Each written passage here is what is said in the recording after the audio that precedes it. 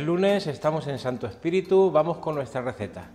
Y hoy tenemos una receta del Levante español, donde vivimos, allí donde las huertas florecen en flores y frutos de todos los colores, formas y sabores. Bien, pues hoy vamos a hacer una coca de la huerta. Lo de coca es un término de aquí de Valencia, que traducido al castellano yo creo que puede ser algo así como torta, torta de la huerta, pero aquí suena bien eso de coca de la huerta. Y vamos a utilizar pues productos de la huerta de los que ahora hay en abundancia. Tomate, cebolla y pimiento rojo y verde. En abundancia, bien picaditos. Y para la coca, la torta, la base de pan, pues lo que hemos utilizado tantas veces que ya hemos hecho en otras ocasiones. La harina, el aceite, el agua, un chorrillito de vinagre y la sal.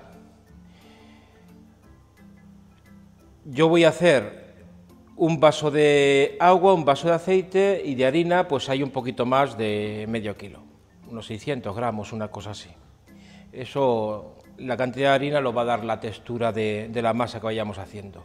Voy a empezar haciendo el macerado de estas verduras, tienen que macerar un tiempo y cuando tenga las verduras con sus ingredientes, pasamos, hacemos la masa y luego esperamos hasta que la masa se, cocine. Bien, el macerar estas verduras es tan sencillo como juntarlas en un bol añadirles aceite, vinagre y sal. Así de sencillo. Cebolla. No voy a poner toda que es mucha. Esta me servirá, ¿eh? porque estos son los mismos ingredientes de un sofrito, de cualquier otra comida. Pimiento.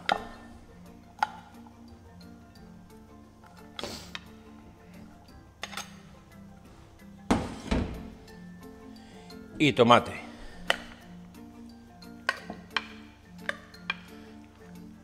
Tomate sí lo vamos a echar un poquito más porque Saben una cosa el tomate, y es que el tomate tiene unas, unas proteínas que son muy parecidas a las de la carne. Por eso el tomate le viene tan bien a los guisos y tiene ese sabor tan apetecible. Bien, mezclamos.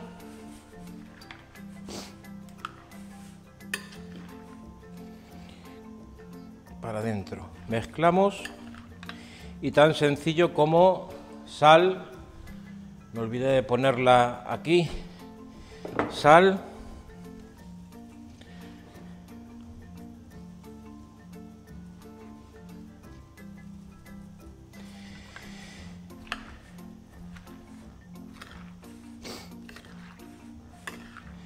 Vinagre. Sí, como cualquier ensalada. ¿eh? Vinagre. La sal y el vinagre lo que hacen es romper la estructura molecular de, la verdura y hacer que los jugos que tienen dentro salgan. Y también la, estructura se, rompa y lo que, lo, que, lo que decimos se cocinan, porque se puede cocinar con calor o se puede cocinar con la maceración del aceite, el vinagre y la sal. Bien. Si esto lo trituramos nos sale un gazpachito también, ¿eh? Si la base más o menos es la misma. Bien, pues esto lo vamos a dejar macerando. Va a, producir eh, líquido, o sea, la, la verdura se va a ir se va a ir exprimiendo, va a producir líquido, el líquido lo vamos a exprimir, lo vamos a guardar para alguna otra preparación, algún gazpacho, por ejemplo, y esta verdura ya escurrida es lo que tendremos que poner encima de la torta, de la coca. La dejamos aquí al lado y vamos con la masa.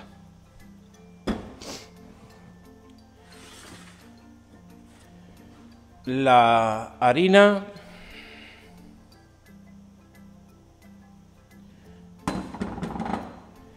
un poquito de sal.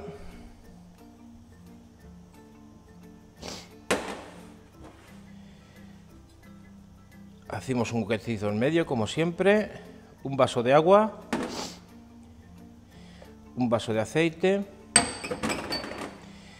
y un chorrito de vinagre. Preguntaréis, ¿por qué el vinagre? ¿Por qué el vinagre? Siempre el vinagre. El vinagre es muy importante en la cocina, porque el vinagre, una de las cosas que hace es descalcificar. Y al descalcificar, pues hace que las texturas sean mucho más suaves que si no tuviese el vinagre. Y más en esta zona donde las aguas son bastante calizas, el vinagre se convierte en una cosa bastante importante. Me dejáis que siga con el amasado y volvemos cuando la masa esté preparada para extenderla encima de la lata. Sabéis que estas masas tienen que reposar un poquito, así que en un momento volvemos.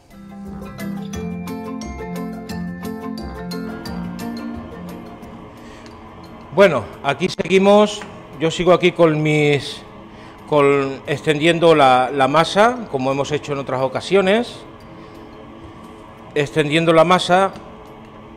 Cuando hagáis esto puede que tengáis un problema, y es que la masa tal como la estiráis se vuelve rebelde, la estiráis y vuelve otra vez a su sitio. No os preocupe, eso es que tiene tensión la masa. Eso dejándolo dejando pasar 5, 10 minutos, 15 minutos, lo volvéis a estirar y se estira solo. Es como cuando uno se enfada con alguien, se pone, se pone la tensión en el medio, pues deja pasar 5, 6 minutos, 10 minutos y verás cómo la cosa se estira mejor después. Bien, aquí tengo las dos masas preparadas y esto que sigue macerando, como veis, eh, ya va teniendo su caldito debajo, el tiempo no importa para la maceración esa. Lo que sí voy a hacer ahora que es un paso que podríamos evitar, pero es que queda mucho mejor porque queda más crujiente. Vamos a darle una precaución a estas, a estas masas, es decir, la vamos a meter en el horno 15 eh, minutos a 180 grados, que se precuezan, es decir, se cuecen un poquito, para que luego así el líquido que puede quedarnos en la verdura no nos humedezca demasiado la masa y, y la masa siga conservando ese poquito de crujiente. Así que os dejo otro momentito para meter esto en el horno. Mirad lo que tengo ahí. Eso también está preparado para meterse en el horno hoy. Hoy toca arroz al horno, buenísimo. Así que hoy el horno va a echar humo, nunca mejor dicho. Bueno, hasta un ratito. Volvemos, ya tenemos aquí nuestra masa precocida. Le faltan, la he tenido 15 minutos, le faltarían otros 15 para que estuvieran perfectamente cocidas.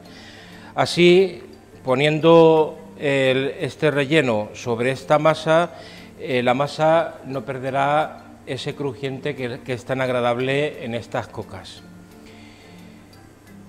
Bien, pues nos queda poner el relleno, mirad, ¿eh?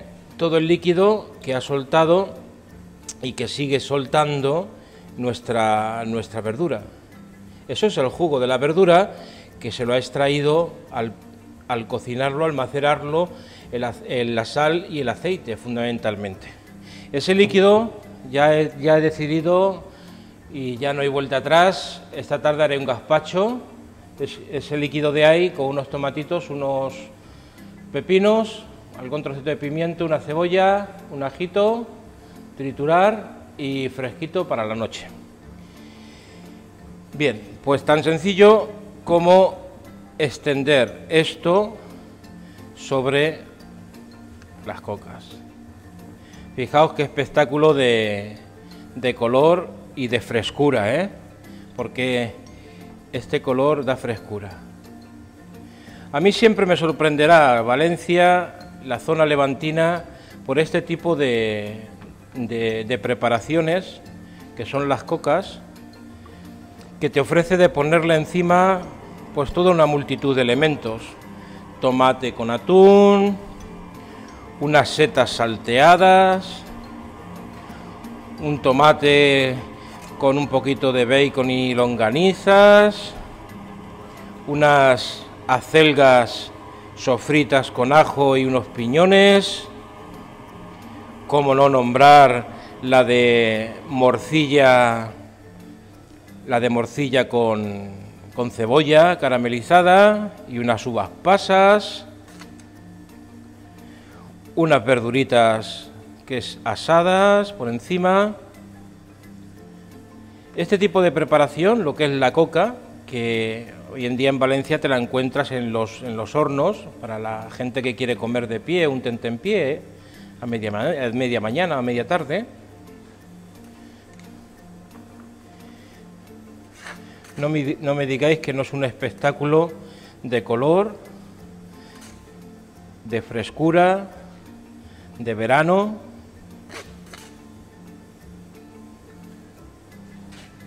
Pues lo voy a repartir bien, no lo voy a dejar ahí. Va a ir bien cargadita.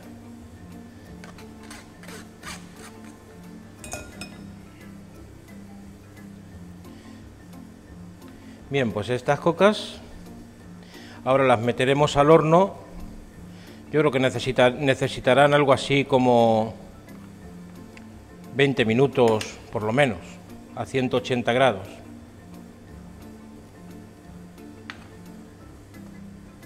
Como tengo el arroz al horno puesto, en el horno, pues tendrán que compartir las cocas, como buenos hermanos, tendrán que compartir lecho en el horno con el arroz.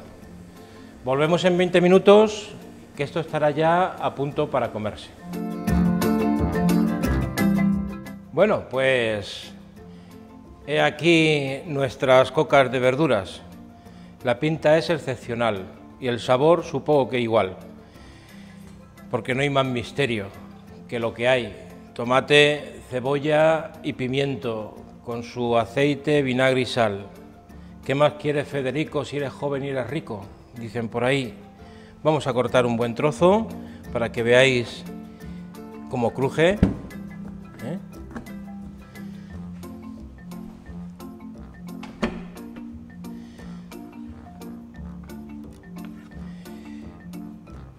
Esto de las cocas es una excelencia.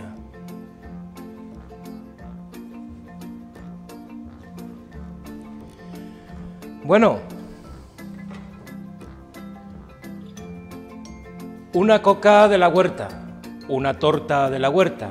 Al lado le he puesto un poquito de queso fresco para que el plato no estuviera tan triste.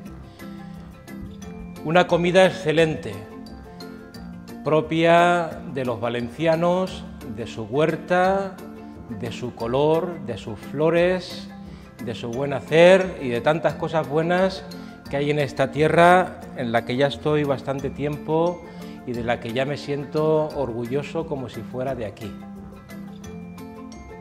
Paz y bien, que aproveche y nos vemos el lunes próximo.